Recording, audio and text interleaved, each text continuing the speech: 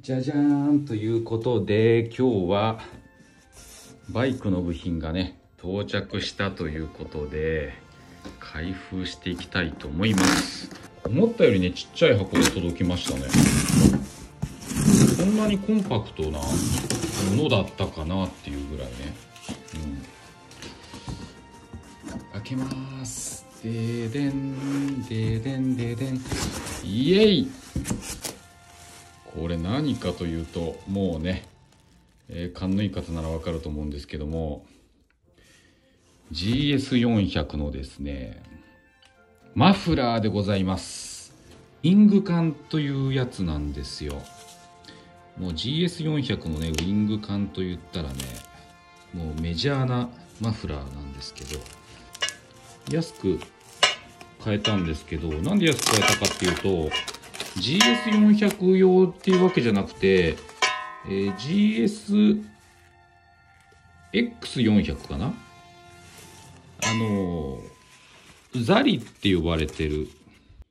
GSX400 についてた、ね、まあ同じ2気筒なんで、で、まあ取り付けステをね、ちょっと工夫すると、あのー、つけられる。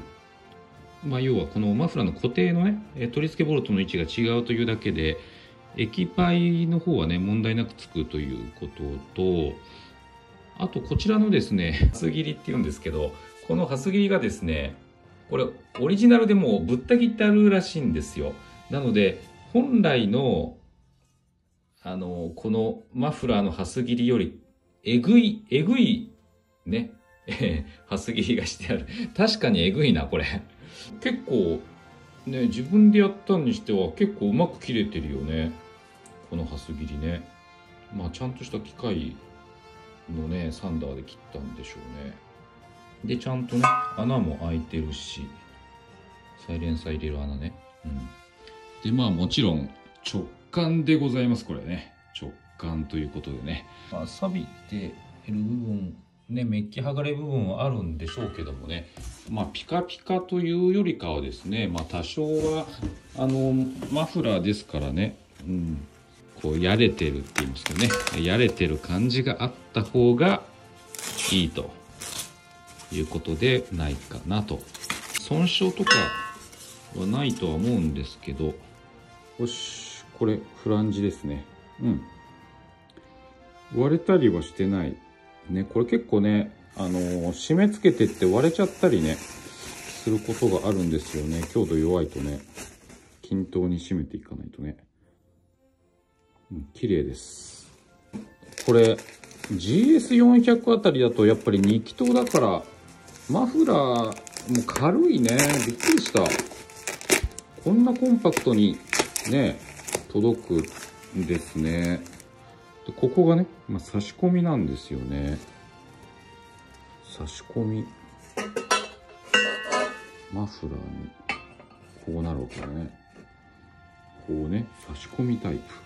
でこれ何がいいかってあのなんでこれ選んだかっていうと特にあの私ハス切りがすごい好きというわけではないんですけどセンタースタンドがね付けられるのが整備性がいいのでセンタースタンドが付けられるマフラーっていうふうに探してった時に選択肢非常に少ないんですよ。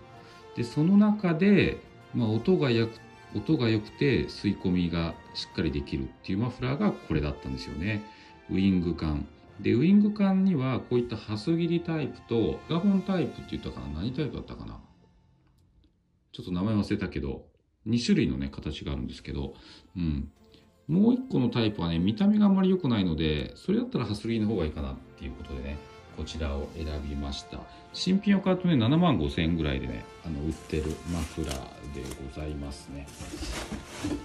これはちょっとね、磨いて、磨いて、磨いて、まあ一応ね、くすんではいるんで、磨いてからね、えー、装着してみようと思います。後でね。